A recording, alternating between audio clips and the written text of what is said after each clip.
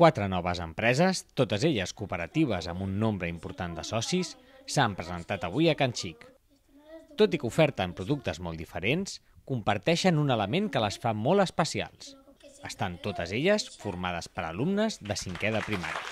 Seguint un rigorós ordre, els joves emprenedors de l'Escola Camp Palmer i de l'Escola Montserratina han donat a conèixer tot una llau de productes. Hem fet paneres de trapillo, eh, pulseres, eh, fermells, una bosseta d'herbes aromàtiques, pulseres, llibreta decorada, una caixeta per guardar coses, punts de llibres, un diari, els imants de la nevera, els anells de la sort, la, el flaç de l'amor, el collaret de l'amistat, fundes de mòbil...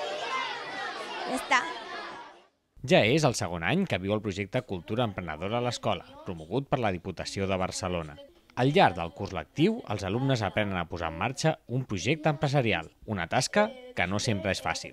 Eh, una mica ens ha costat perquè al primer ens barallaven, una mica. Sí, perquè hem de decidir tots junts i hem de... Eh, costa molt que molta gent, que 24 persones es posin tots d'acord. Tot, tots hem treballat en grup i ha sortit tot molt bé. No és només el com fer una empresa, sinó és tot el que suposa de relacionar-se, de pensar en, en temes com el màrqueting, la relació amb les persones, com has de vendre, quin producte, genera tota una sèrie de dinàmiques que van molt bé per després desenvolupar-te la vida. Jo crec que és un, possiblement és un dels projectes més, més macos que tenim. Enguany, els padrins de les cooperatives han estat l'atleta Maria Vasco i el pastisser Jordi Bordes. No oblideu que els productes resultants es trobaran a la venda als estants de la Fira de Sant Isidre.